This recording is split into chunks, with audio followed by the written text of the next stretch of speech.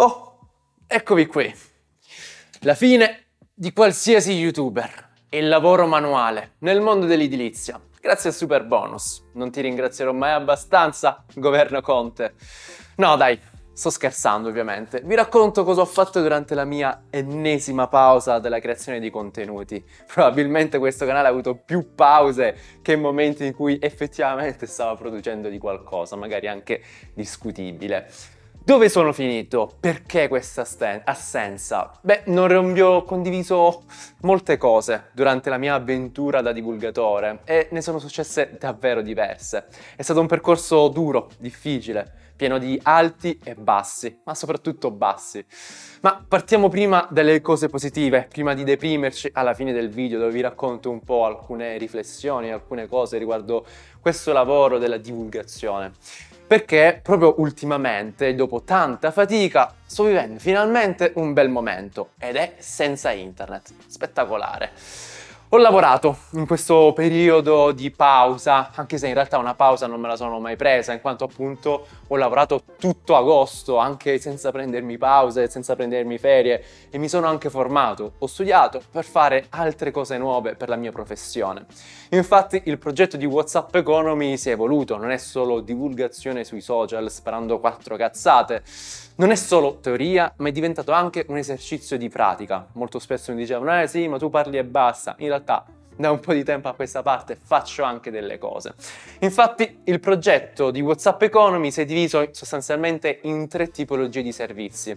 La prima, formazione e divulgazione. A proposito di educazione finanziaria, dal 12 al 26 ottobre ci sarà la seconda edizione del mio corso di educazione finanziaria base, quindi aperto a tutti, anche a chi non ha nessuna conoscenza di finanza personale che si chiama Le Fondamenta. Più di 6 ore di lezioni online dove potrete ottenere anche la registrazione delle lezioni e le dispense di tutto quello che andremo ad affrontare dove appunto su tre lezioni da due ore andremo a sedimentare le basi di finanza personale e di eh, economia finanziaria. Quindi se siete eh, interessati vi consiglio di andare in link in descrizione e eh, prenotare il vostro posto perché ha avuto molto successo nella passata edizione e quindi ho deciso di riproporvelo perché secondo me è un corso estremamente utile. E invece per chi è al liceo c'è un altro corso di educazione finanziaria sviluppato insieme a Cubo Unipol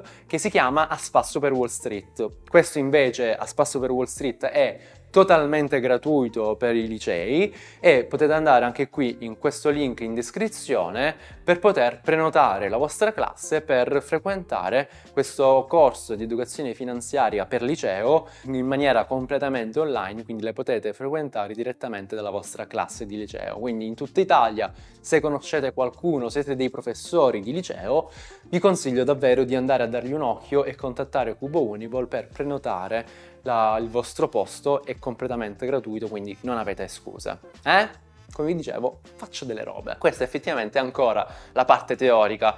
Questa avrà un'enfasi maggiore sulla componente dal vivo, infatti vorrei fare tanti altri eventi in presenza, perché mi danno più soddisfazione e mi possono essere anche più utili nel mondo lavorativo. Quindi Continuerò comunque a fare video qui su questo canale, però ci sarà una maggiore enfasi nel creare eventi e progetti nel mondo reale, dove ci si può toccare e fare le cosine. Tra l'altro, tra l'altro, proprio a proposito di questo, se siete dei programmatori, degli informatici o giocate con la robotica e siete della provincia di Lecce, chiamatemi, che magari possiamo fare qualcosa insieme. Quindi questa è la prima parte del servizi di WhatsApp Economy, formazione e divulgazione economico-finanziaria. La seconda parte l'ho raccontata anche in altri video che è partita proprio da quest'anno ed è la parte di wealth management per famiglie o anche singoli individui ovviamente. Infatti con questo studio che vi ho raccontato, Kokumi Finance, uno studio di wealth management dove si occupa di consulenza finanziaria e patrimoniale, dove appunto sto seguendo diversi clienti che stanno gestendo le loro risorse economiche e patrimoniali in maniera molto migliore rispetto a quanto facessero prima di me. Il terzo servizio è un servizio che ho lanciato proprio in questi ultimi mesi di mia assenza ed è un servizio di CFO per imprese. Che cosa significa? È un servizio di CFO è praticamente una finanza aziendale, se vogliamo. CFO è un acronimo inglese che sta per Chief Financial Officer ed è una sorta di lavoro tra il commercialista e un consulente finanziario. Svolge tantissime funzioni inerenti all'azienda che hanno una serie di uh, obiettivi per migliorare l'efficienza delle risorse dell'azienda. Se ne volete sapere di più magari vi farò un video di approfondimento se siete interessati, però vi lascio il link in descrizione per approfondire anche questa tematica. Quindi CFO per imprese, sto seguendo già un paio di imprese, sto seguendo anche un investimento immobiliare da più di 2 milioni di euro e nonostante questo non ho ancora ricevuto una copertina da Marcello Ascani con il numerone gigante 2 milioni di euro, oh mio Dio. Quindi sto seguendo questo investimento immobiliare bello importante, sto diver- seguendo diverse aziende, insomma sto facendo, come vi dicevo, cose piuttosto pratiche che mi stanno facendo crescere da un punto di vista professionale. E questa cosa mi mancava un sacco perché va bene la teoria, però parlava a un pubblico che da una parte ovviamente mi ringraziava per i contenuti che facevo, ma dall'altra ovviamente mi odiava, come qualsiasi cosa su internet, però non avevo un contatto diretto, no? Invece adesso, avendo dei clienti che uh, riconoscono le mie qualità, mi ringraziano, eccetera, eccetera, è proprio una soddisfazione molto più grande. Quindi questa parte della professione mi sta dando tantissime soddisfazioni che ormai la parte della divulgazione non mi dava più. Ecco, ma per tutto ciò, per tutti questi servizi, queste cose che sto intraprendendo con WhatsApp Economy e Kukumi Finance, tutto ciò ha bisogno di una casa e come vedete non c'è più lo sfondo, tra l'altro quanto cazzo era brutto quello sfondo, che usavo fino ad adesso. Adesso vedete un muro bianco perché WhatsApp Economy ha una nuova casa. Infatti è ancora un casino, poi ve lo mostro con diverse immagini, ma ho preso un ufficio ho preso un ufficio, Dio santo, da quanto sognavo avere un ufficio. Buongiorno, eccoci, è arrivato il corriere. Uh, Dio santo, da quanto desideravo avere un ufficio. Eh, sono troppo casato, veramente un'esperienza incredibile. Uh, un mio ufficio personale dove faccio quello che cazzo voglio. Mi sono trasferito in provincia di Lecce, quindi qui da dove sto registrando siamo a Tricase, in provincia di Lecce. Prima ero a Torino, ma ho deciso da luglio di trasferirmi nella mia terra natia, nella mia terra dove ho vissuto i miei primi 18 anni di vita becera. Il perché di questa scelta ve lo racconto dopo, ma torniamo un attimo sull'ufficio perché ve ne voglio raccontare ancora. Fino al mese scorso, come vi dicevo, lavoravo da casa ed era una esperienza traumatica, venivo dal covid che anche quella era stata un'esperienza piuttosto eh, problematica, non so voi come l'avete vissuta, però vi rinchiusi in casa, vi abituate a certe abitudini, poi io lavoravo, prima ho studiato da casa, poi ho iniziato a lavorare da casa, insomma ero entrato in una bolla veramente asfissiante. Fatevi conto che ero più di 16 ore al giorno nella stessa stanza dove dormivo e lavoravo praticamente. E questa situazione mi aveva completamente esaurito. Avevo momenti di totale burnout, momenti di totale depressione, anche se non sono andato da uno psicologo a confermarmi questa diagnosi, però insomma non era veramente un bel momento, era un momento di sofferenza, di veramente... Uh, un brutto periodo, un brutto periodo, non avevo più una routine, non avevo più una dignità, perché stavo lì sbattuto nella stessa stanza, non, a meno che non andavo a fare sport, non avevo la, la, voglia o comunque la possibilità di uscire da quella stanza, non avevo più possibilità quindi anche di fare networking, insomma una vera e propria tortura che ti toglie completamente l'anima. Invece da quando questo ufficio, da ormai quasi un mesetto, e questi primi giorni sono veramente un sogno. Riesco a dividere l'ambiente lavorativo da quello familiare privato, quindi so dove fare entrambe le cose e riesco a godermele nella misura migliore possibile, perché appunto so distinguere le due cose quando in realtà prima non succedeva questo. Ho una routine, quindi mi sveglio, faccio delle robe, mi faccio la passeggiata per arrivare in ufficio, questa passeggiata mi serve anche per uh, svegliarmi e per riassettare le idee, posso svagare mentre Uh, durante il tragitto casa-lavoro o semplicemente andando a fare una passeggiata fuori dall'ufficio, visto che qui siamo molto vicini al centro città e tutto questo fa bene allo spirito, all'animo e anche poi di fondo, di fondo anche al lavoro sostanzialmente. Invece prima ero spesso in pigiama, era una routine, che di nuovo non era una routine perché facevo sempre le stesse cose, ma eh, che non si distinguevano l'una dall'altra, era un'abitudine mortale veramente. Quindi, insomma, se non l'avete capito, lo smart working all'italiana, cioè quello di lavorare da casa praticamente, che non è il vero smart working, se volete sapere di più di questo argomento ho fatto anche un video, vi lascio il link in descrizione, però insomma questo smart working all'italiana per me fa cagare, non funziona ed è veramente terribile. E quindi almeno per me, poi c'è chi, a chi piace, però non lo metto in dubbio. E, e quindi insomma un po' questo. Torniamo all'ufficio. Ufficio eh, a Tricasa in provincia di Lecce, eh, non è un mio ufficio personale ma una sorta di co-working perché ci sono dentro anche altre persone eh, con cui posso confrontarmi, collaborare. E inoltre una cosa molto interessante è che la maggior parte delle cose all'interno dell'ufficio, anche se ancora è un po' mezzo vuoto, devo sistemare ancora l'angolo studio e altre cosette, però la cosa importante è che tutto ciò è tutto o quasi tutto di seconda mano, una cosa che abbiamo voluto molto fare in questo ufficio anche i monitor sono di Amazon Warehouse ad esempio, insomma mh, mm, volevamo non solo perché non c'era budget fondamentalmente, vi dico anche questa verità, ma anche perché volevamo mh, mm, incidere su questi concetti di riuso, riciclo e sostenibilità, li volevamo enfatizzare anche nella maniera pratica e quindi l'abbiamo fatto anche con i fatti. Tutto è riciclato, tutto è riutilizzato. Tra l'altro, ad esempio, un altro aspetto è che per andare al lavoro uso la bici che ok magari per uno di Bologna o di Ferrara dice benvenuto nella modernità. In realtà qui al sud, per quelli che, sono, che vivono al sud mi capiranno, anche soprattutto nelle piccole cittadine, prendere la bici è una follia, visto che qui c'è l'abitudine che anche per fare 200 metri bisogna prendere la macchina.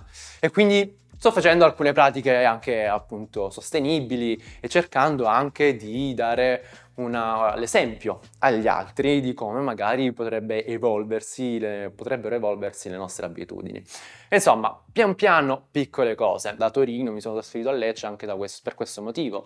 Cercare di dare qualche stimolo a una cultura alcune volte anche abbastanza arretrate. Ma questo non solo perché lo dico io, tra l'altro lo dicono anche i fatti, ma anche perché lo dicono anche i testi di economia dello sviluppo. Una crescita economica va a braccetto con una crescita dell'ambiente sociale e culturale, un progresso di questi ambienti sociali e culturali e quindi aspetti che storicamente il meridione è abbastanza indietro e quindi se sono qui non solo perché per altri motivi che vi racconto dopo ma anche per dare qualche tipo di stimolo anche con degli eventi dal vivo per cercare di cambiare un po' la cultura che c'è spesso in questi territori. Ovviamente questo discorso che poi approfondiremo anche successivamente non sono dei discorsi come è venuto il supereroe che cambierà tutto.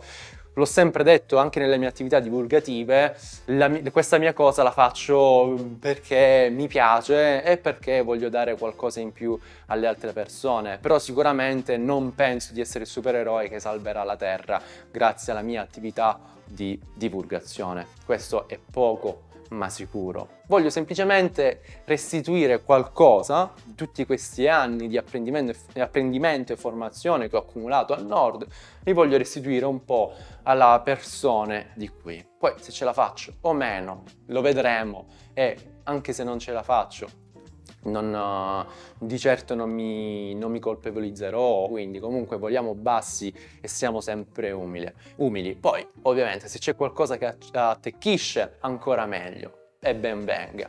Però, insomma, posso dire che almeno ci ho provato, ecco, ho, darmi, ho voluto darmi quest'ultima chance prima magari di andare all'estero e mandare a tutti a fanculo. Ulteriore alert di questo discorso è che non credo che eh, chi se ne va dal proprio paese del sud o addirittura dall'Italia sia una persona spregevole, eccetera, eccetera. Lungi da me fare ramanzine o morali. Uh, se non sono proprio il tipo di fare queste, questi discorsi morali, puntare il dito, se per il vostro bene è meglio lasciare il sud Italia oppure addirittura l'Italia, beh, fatelo pure, di certo non sarò io a dirvi di no, lo farei anch'io questa scelta di andare in una situazione che per me potrebbe essere meglio.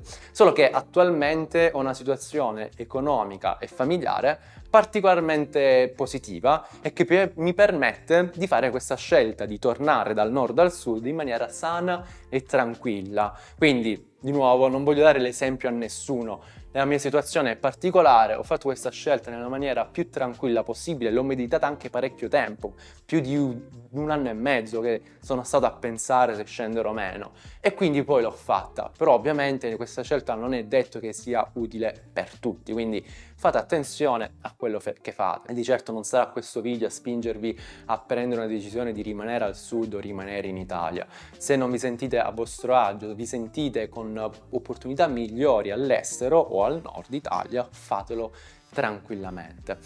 La mia scelta di scendere giù è anche derivante da alcuni progetti che vorrei fare qui, come un po' ho accennato, in questa terra e quindi anche qui questa, questi aspetti, questa mia volontà di costruire un qualche progettino qui mi ha spinto a scendere giù, altrimenti di nuovo sarei stato il primo ad andarmene. Quindi di nuovo fate come volete, io vi sto raccontando semplicemente la mia storia e non c'è nessun intento di morale o di assecondarvi a spingervi a fare qualcosa di diverso. Cosa è successo prima? E qui entriamo nella fase un po' depressetta del video, vi racconto un po' di dettagli. Innanzitutto la pandemia non è stato un granché per me, è stato un momento in cui sì, mi sono laureato, ho fatto delle robe, però eh, sono rimasto abbastanza statico e anche quando è finita la pandemia fondamentalmente sono rimasto un po' in questo limbo da pandemia in cui vivevo molte ore al giorno in casa e non facevo progressi da tanti punti di vista come vi ho raccontato anche il networking. Questo aspetto della pandemia è stato molto cruciale anche perché durante questo periodo e anche successivamente sono successi diversi episodi che mi hanno fatto un po' disinnamora disinnamorare del mio lavoro da divulgatore. Dinamiche dei social che non accettavo più, cioè devi stare sempre sul pezzo, devi fare determinati video, insomma le solite cose, acchiappa like, eccetera, eccetera, che io non ho la minima voglia di fare. E quindi non accettavo più questa cosa, però era anche il mio lavoro e quindi ero in questa situazione di conflitto interiore, non sapevo come mediare queste due cose, poi alla fine sono riuscito a mediarle uscendone dai social praticamente, andando a crearmi una mia professione che mi consentisse di disaccoppiare le cose che vorrei fare sui social dal campare sui social. E quindi questa cosa è molto positiva, infatti sono molto contento di questo periodo che sto vivendo perché l'ho tanto cercato e alla fine l'ho trovato. E quindi da una parte campo con la mia professione e poi tra virgolette, ritornando un po' ai tempi di Ciccio Gamer, lo faccio per voi, è un mio hobby, questa cosa di attività divulgativa divulgativa, anche se in realtà è anche un po' un, mio lavoro, un lavoro che si collega con l'attività professionale. Comunque, ci sono stati questi aspetti qui. Altre cose, episodi successi con content creator o con agenzie che non mi sono piaciuti particolarmente, che copiavano spudoratamente contenuti o miei o di altri e questo non lo sto dicendo perché ho visto un video simile, proprio perché l'ho visto con i miei occhi. C'è stata gente che mi ha detto che copiava contenuti degli altri e, anche e ovviamente funzionavano perché se copi cose che funzionano, funzionano anche a te, ci mancherebbe. E anche questa cosa lo, non, l'ho, non, l'ho, vissuta bene perché io spendevo un sacco di ore per cercare di fare contenuti originali, cercare di uh, prendere qualcosa di nuovo, eccetera, eccetera. Invece loro copiavano a destra e manca, facevano i soldi e tutto così. Veramente uno schifo. Ovviamente non posso farvi i nomi, però eh, vi assicuro che è successo così. Mm, eh, ho ricevuto minacce di denuncia solo perché ho avuto un po' la, l'azzardo di criticare alcune idee di un altro divulgatore, che minacciavano la sua credibilità e che magari, insomma, tutte le storie che magari voi pensate sono, no, flame, cose, però poi nell'atto pratico sono molto pesanti perché minano il tuo lavoro, la tua passione per il tuo lavoro e sono veramente brutte. tutti questi episodi accumulati mi hanno fatto un po' perdere, mi hanno fatto un po' allontanare da questo mondo dei social della divulgazione eh, perché mi facevano stare troppo male sostanzialmente. Lo so, magari può sembrare un discorso da debole, però è così. Uh, sono, sono, fatto anche così, purtroppo è questo. Non ho la pelle dura nel dire va bene, allora faccio quello che funziona. A me piace fare solo quello che mi piace fare altrimenti sarei andato tranquillamente a lavorare per una consulenza nelle Big Four e prendermi il doppio dei soldi che faccio attualmente, probabilmente. Però a me piace fare le cose come piace a me e avere libertà e avere della soddisfazione nel fare le cose. E meccanismo, quei meccanismi che richiedevano i social e che facevano altri miei colleghi non mi davano soddisfazioni e per questo anche molto pause avevo proprio una sensazione di rigetto nel fare i video perché non mi piaceva più quel modo di vivere questa realtà.